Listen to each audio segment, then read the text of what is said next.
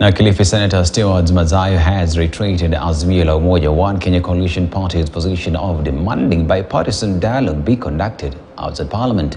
Mazayo, who is the Senate Minority Leader, said that the Kenya Kwanza coalition was not sincere with calls for bipartisan dialogue since it had gone against the Political Parties Act by appointing Aidan Kanan as one of its negotiators, yet he was elected on a Jubilee Party ticket under the Azimio coalition. He said this after officially addressing a special assembly sitting in Malindi town Wednesday afternoon. Also present were Mombasa Senator Mohamed Faki and his Kwale counterpart Juma Boy, who sat in the gallery. Sisi kama Azimio, manake hapa tunaye kinara wetu ambaye ni minority nani, minority nani, nampisha yeye Anjo bwana. unakuja na bibi yangu hapa alafu unasema tuongee. Tuongee kitu gani eh?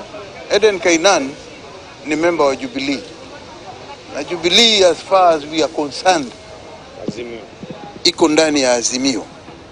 Kwa hiyo hauwezi ukachukua mtu Azimio ukamweka upande ule wa KK kama ameishiwa na mawazo waseme. Motion ile imefanywa pale ndani ya bunge imetaja mpaka watu wa, wa Azimio.